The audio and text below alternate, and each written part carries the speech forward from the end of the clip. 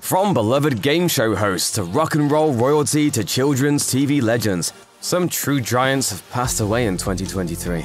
Here's a look at who we've lost. Fiddler on the Roof wasn't the likeliest candidate to be a smash hit musical. Based on Sholem Aleichem's beloved tale of Jewish life in the Pale of Settlement, the musical tells the story of a milkman named Tevye, who struggles to maintain his traditions, accept his daughter's potential husbands, and navigate a hostile world. Israeli actor Chaim Topol, or just Topol, as he was usually billed, was a big part of the musical's success and would forever be linked to the role of Tevye, Topol portrayed Tevye in thousands of stage performances of Fiddler on the Roof, playing the part in the original 1967 West End production, revivals in 1983 and 1994, and a Broadway revival in 1990. Most prominently, he starred in the hit 1971 film adaptation, which landed him an Academy Award nomination for Best Actor. Topol also portrayed Dr. Hans Zarkov in the 1980 movie version of Flash Gordon, and Smuggler Columbo in the James Bond movie For Your Eyes Only. Topol, who had been diagnosed with Alzheimer's disease, died in Tel Aviv, Israel, on March 8, 2023. He was 87. There were three unique and distinct phases in the life and career of Robert Blake, who started appearing in films in the late 1930s at the age of six. Between 1939 and 1944, Bobby Blake portrayed Mickey in more than three dozen Our Gang or Little Rascals theatrical shorts. That gave way to numerous appearances as Little Beaver in Red Ryder movie serials, and appearances on TV westerns in the 1950s and 60s. After playing convicted killer Perry Smith in 1967's In Cold Blood, Blake starred as Detective Tony Baretta on the TV crime drama Baretta from 1975 to 1978, which won him an Emmy Award. In the 80s and 90s, Blake assumed a lot of tough guy roles, retiring after a memorably creepy appearance in David Lynch's Lost Highway in 1997. Blake would make headlines when he was arrested and tried for the 2001 murder of his wife, Bonnie Lee Bakley. The salacious trial ended in an acquittal, but Blake was held liable in a civil wrongful death suit and had to pay his deceased wife's family $30 million. The Associated Press reported that Blake died at his Los Angeles home from heart disease on March 9, 2023. He was 89. Lance Reddick brought an irresistible energy to a series of high-profile and cult projects over the years. His intensity and deep character work often made them unforgettable. Reddick broke out on the HBO prison drama Oz, where he played undercover narcotics officer Johnny Basil. He then starred in The Wire as police lieutenant Cedric Daniels. Reddick once again played a complex authority figure, federal agent Philip Broyles, head of the titular paranormal office on Fringe. Many more TV roles followed for Reddick, including Deputy Chief Irving on Bosch, Albert Wesker on Netflix's Resident Evil series, and deeply evil boss Christian DeVille on Comedy Central's Corporate. Film fans know him best as Charon, the concierge turned sidekick of the John Wick movies. Charon, would you help set the mood for our new guests? Of course, sir. Gamers will remember him for years to come as Commander Zavala of the Destiny video game series. Reddick was discovered dead of natural causes in his home outside Los Angeles on the morning of March 17, 2023. He was 60 years old. Michael Lerner was a character actor, but he retreated into the scenery. A dominant and commanding force in most every role he took, Lerner was a quintessential supporting actor who specialized in portraying adversarial authority figures and bullying blowhards. After starting out in San Francisco theater in the 1960s, Lerner took on many dues playing roles on 70s and 80s TV shows, including Hill Street Blues and The Rockford Files, and in movies such as Eight Men Out and Harlem Nights. Probably his best-known role was as the tyrannical movie studio boss Jack Lipnick in Barton Fink. That part in the 1992 Coen Brothers cult classic earned Lerner an Academy Award nomination. Lerner worked often through the 90s, co-starring in Newsies, Blank Check, and in 1998's Godzilla, as the ineffectual mayor of a besieged New York City. Later gigs included that of a nasty children's book publisher in Elf, and an anti-mutant senator in X-Men Days of Future Past. Sam Lerner, Michael Lerner's nephew, broke the news of his uncle's death on Instagram on April 9, 2023. Michael Lerner was 81. A national treasure in his home of Australia, Barry Humphries worked as a comedian, actor, and drag performer for decades. He's best known as his drag alter ego, Dame Edna Everage, a saucy, purple-haired older woman from the upper crust who says whatever is on her mind, often speaking truth to power. I counsel mm-hmm. and I heal. You counsel and you heal. I Yes. do a little bit of healing. In addition to portraying Dame Edna's odious rival Sir Les Patterson, Humphries appeared as a signature character in hundreds of talk shows, TV series, and movies. For years, Dame Edna was a virtual regular on The Tonight Show and hosted the mock talk show Dame Edna's Hollywood on NBC in the early 1990s. Pixar fans will recognize Humphries as a voice of Bruce the Shark from Finding Nemo. He also voiced the Great Goblin in Peter Jackson's The Hobbit An Unexpected Journey. Humphries was so beloved in Australia that his death was reported to the public by the country's Prime Minister, Anthony Albanese. Humphries was 89 years old. Born in Harlem to a family from the Caribbean, Harry Belafonte was America's biggest black multi-hyphenate superstar during the mid-20th century. In the 1950s, Belafonte was the biggest pop singer in the United States. He sang traditional and new songs in Caribbean-based styles, including his signature tune, Day-O, the Banana Boat Song, and topped the Billboard album chart for 31 weeks. In the 1950s, the singer starred in the musical movie Carmen Jones, the romance Island in the Sun, and the post-apocalyptic The World, The Flesh, and the Devil. After a long break to focus on the civil rights movement, where he was a prominent and outspoken advocate for African American equality and systemic change, working closely with Dr. Martin Luther King Jr., Belafonte returned to acting in the 1970s, appearing in Buck and the Preacher and Uptown Saturday Night.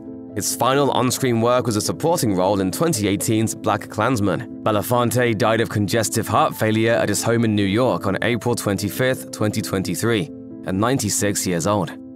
The NFL became nationally popular in the 1960s thanks to television and explosive stars like running back Jim Brown. In his nine-year career, Brown was named to nine Pro Bowl squads, never missed a game, and set the records for yards and touchdowns. After leading the Cleveland Browns to its last league championship and being named the NFL's most valuable player in 1965, Brown decided to apply his talents to acting. His first major film role was in the classic war movie The Dirty Dozen. He'd go on to star in many more action films. In the 80s and 90s, Brown did some episodic TV work, appearing on Chips, Knight Rider, and The A-Team, before poking fun at his career and tough guy persona in comedies like I'm Gonna Get You Sucker and Mars Attacks. Brown's personal life was full of controversy. He faced multiple assault charges. In 1968, for example, he allegedly threw a female partner from a balcony. And in 1999, he was arrested after taking a shovel to his wife's car and allegedly threatening to kill her. In both cases, the women withdrew their allegations. A family representative told the Associated Press that Brown died at his home in Los Angeles on May 18, 2023, age 87. After cutting his teeth with small roles on British television series in the 1990s, Northern Irish actor Ray Stevenson became a prolific go-to guy for producers all over the world, looking to bring gravity and intensity to their films and TV series. His first prominent gig came in the 2004 film King Arthur, as a self-sacrificing knight Dagonet. He followed that with a run on HBO's Rome as soldier Titus Pullo. Stevenson then snagged a starring role in Punisher Warzone, portraying the title vigilante. In addition to supporting roles in The Three Musketeers, G.I. Joe Retaliation, and The Book of Eli, Stevenson also appeared in the first three MCU Thor films as Thor's pal Volstagg, as well as in Divergent as abnegation leader Marcus Eaton. Stevenson was heavily involved in the Star Wars universe, voicing Gar Saxon in multiple projects and playing Baylan Skoll in the Disney Plus Ahsoka series. Getting to, to wield the lightsaber is just the best feeling in the world. He also played the villainous Governor Scott Buxton in the Indian hit RRR, and worked alongside martial arts star Scott Adkins in the Accident Man series. His publicist told Variety that the actor died in Italy on May 21, 2023. Stevenson was 58 years old. Born Anna Mae Bullock, Tina Turner would become an iconic musician and earn the nickname the Queen of Rock and Roll. Combining a raspy voice, passionate performance style, and frenetic dance moves, Turner propelled her duo with her then husband, Ike Turner, into massive success in the 1960s and 1970s. In the 1980s, Turner returned to prominence as a solo act and struck it even bigger, ultimately selling 180 million albums and winning 12 Grammy Awards. Turner was so famous, recognizable, and charismatic that Hollywood eventually beckoned. Turner took on just four film roles, but all were memorable. She appeared as the Acid Queen in Tommy, made a cameo in Sgt. Pepper's Lonely Hearts Club Band, played the villainous Auntie Entity in Mad Max Beyond Thunderdome, and appeared as the mayor in Last Action Hero. Turner's family released a statement to Rolling Stone on May 24, 2023, announcing the rock star's death at her home in Switzerland. Turner's passing came after a lengthy sickness. She was 83 years old. Starting out in acclaimed films in the 1970s, Treat Williams spent the 1980s and 1990s popping up in everything from prestige movies to crowd pleasers to made for television fare. Williams broke out with a major role as hippie leader Berger in the 1979 film adaptation of the musical Hair, then appeared in Steven Spielberg's 1941 and the harrowing police drama Prince of the City, which earned him a Golden Globe nomination. He'd never be off the screen for long, co-starring in crime sagas such as Once Upon a Time in America and Things to Do in Denver When You're Dead. Over the course of his prolific career, Williams racked up more than 100 acting credits, and these days he's remembered by many for numerous Christmas projects for Hallmark and Netflix, as well as playing dads in Chicago Fire, White Collar, and Chesapeake Shores. What many consider Williams' signature role came in the WB's family drama Everwood, where he starred as kindly neurosurgeon and compassionate single father Dr. Andy Brown. Williams' agent Barry McPherson told The Hollywood Reporter that the actor was riding his motorcycle near his home, outside Dorset, Vermont, on June 12, 2023, when he was struck by a car. After an airlift to Albany Medical Center in New York for treatment of severe injuries, Williams was pronounced dead at age 71. Across a variety of film genres and high-end theatrical productions, Glenda Jackson was among the most acclaimed actors of both her generation and the mid-20th century. A member of the Royal Shakespeare Company in the 1960s, Jackson portrayed Ophelia in a notable Hamlet staging and originated the role of Charlotte Corday in the London production of the controversial play Marat Sade, receiving a Tony nomination when the work moved to Broadway. Jackson then moved into film with a lead role in 1970's Women in Love, winning her first of two Academy Awards for Best Actress. She won the other for the 1973 romantic comedy A Touch of Class. More Oscar noms arrived for Sunday Bloody Sunday, and Hedda with more Tony notices for Strange Interlude and Macbeth. In 1992, Jackson sidelined her extremely distinguished acting career for politics, running for and winning a seat in the UK's House of Commons. She'd go on to serve as junior transport minister for Prime Minister Tony Blair. After retiring from public service in 2015, Jackson returned to acting, portraying the title role in a London-based King Lear and winning a Tony Award for Three Tall Women. According to a statement issued by Jackson's agent and friend Lionel Larner, the actor died at her home in London following a short period of illness. Jackson was 87. Julian Sands brought intensity and gravitas to more than 150 film and television roles dating back four decades. In the 1980s and 1990s, Sands made a big impression with major roles in acclaimed films, such as The Killing Fields, A Room with a View, and Impromptu, while also starring in scary fare like Gothic, the Warlock movies, and Arachnophobia. Sands also segued into TV, voice acting on Biker Mice from Mars and Jackie Chan Adventures, before starring as Yulish on Banshee and recurring on Smallville as Superman's father, Jor-El. In early 2023, just after his 65th birthday, Sands went hiking near Mount Baldy in California's San Gabriel Mountains and didn't return, prompting his family to file a missing persons report. Snowstorms interrupted rescue efforts until spring. On June 24th, the San Bernardino Sheriff's Office reported that hikers had found human remains in the area where Sands disappeared. Three days later, they were conclusively identified as those of the actor. Alan Arkin consistently appeared in films and TV series since the 1960s, specializing in playing gregarious, over-the-top, and self-deprecating figures. An early figure in the improv movement that would shape 20th century comedy, Arkin was among the first members of Chicago's Second City Theater.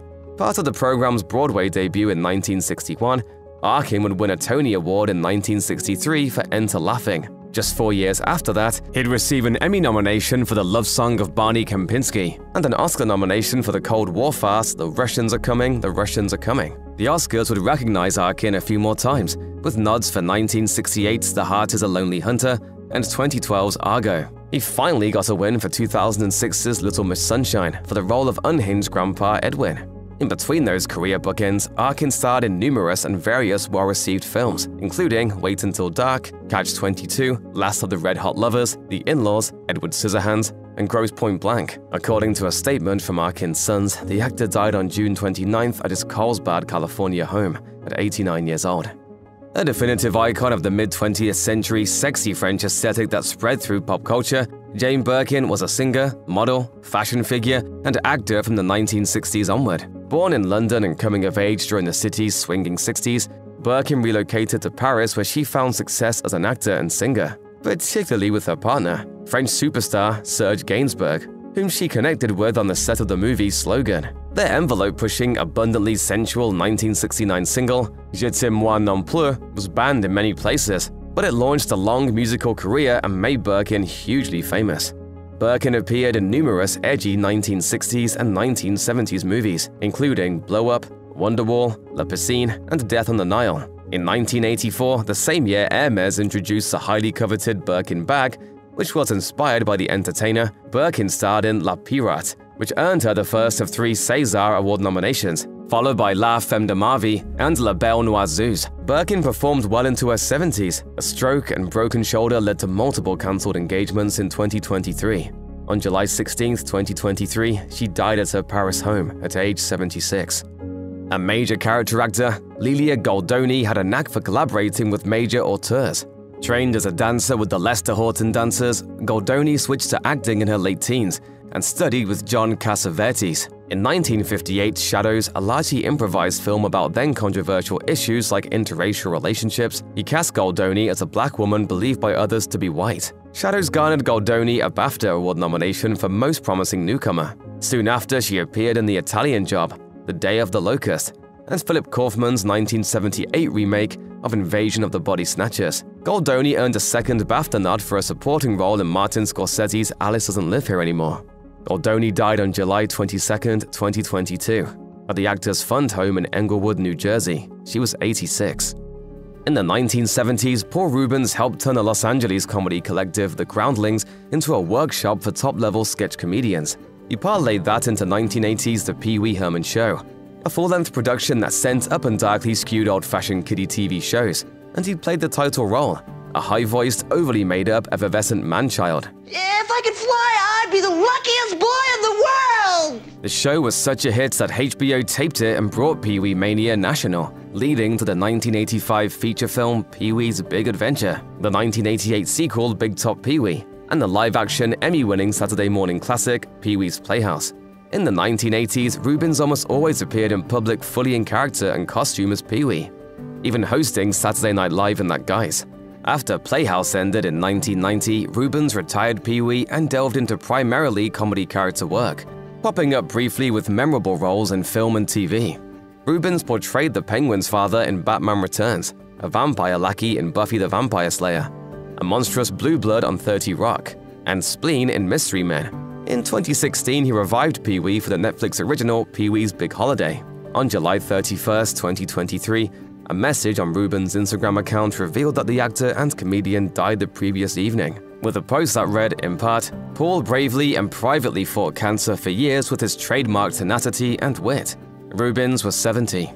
While Angus Cloud attended the same Oakland Performing Arts School with his eventual Euphoria co-star Zendaya, he was working in a New York restaurant when presented with the opportunity to audition for the popular and influential HBO teen drama series. Cloud quickly became a pivotal member of the Euphoria ensemble cast in its first two seasons as an emotionally complex drug dealer Fezco, a supplier to Rue and love interest for Lexi. Additionally, Cloud made appearances in the films North Hollywood and The Line popped up in several music videos, and was set to co-star in an anthology film and a horror movie from the makers of Scream 6. On the morning of July 31, 2023, the Oakland Fire Department answered an emergency call, whereupon they discovered Cloud's body.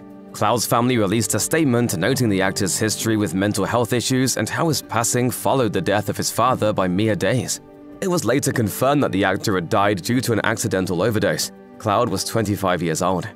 A highly recognizable and prolific actor, Mark Margolis brought a palpable and captivating intensity to his roles, which often called for intimidating, dangerous underworld figures. Margolis broke out as Alberto the Shadow in the 1983 crime classic Scarface. For five years in the late 1990s and early 2000s, Margolis portrayed organized crime lord Antonio Nappa on HBO's bleak prison drama Oz. Around the same time, Margolis began a long collaboration with filmmaker Darren Aronofsky, playing a math genius in Pi, and roles in several of the director's other films. But Margolis is best known for his portrayal of high-ranking drug trafficking figure Hector Salamanca on Breaking Bad and its prequel, Better Call Saul. The character couldn't speak, requiring Margolis to do all his acting with his face and a bell. In 2012, the performance earned Margolis an Emmy Award nomination for Outstanding Guest Actor in a Drama Series. Following a brief period of sickness, Margolis died at New York City's Mount Sinai Hospital. The actor was 83. Johnny Hardwick rarely appeared in front of the camera, so he's likely not as recognizable for his face as he is for his voice. He portrayed ineffectual, oblivious, chain-smoking exterminator and conspiracy theorist Dale Gribble in the animated series King of the Hill for 13 years. How is cutting down on pollution a government plot, Dale? Open up your eyes, man. They're trying to control global warming. When the show was in pre-production, King of the Hill co-creator Greg Daniels attended a comedy showcase in Los Angeles. After hearing the Austin-based Hardwick tell some funny stories about his father, he hired the comic to be part of the writing staff for the Texas spoofing cartoon. Then Hardwick auditioned to play Dale and got the part. His first credited role on a filmography that includes numerous independent projects. He also remained on the writing staff of King of the Hill, part of the team that won a 1999 Emmy Award for Outstanding Animated Program. Summoned to Hardwick's Austin home on August 8 to perform a welfare check, police found the body of the actor and writer. Hardwick was 64.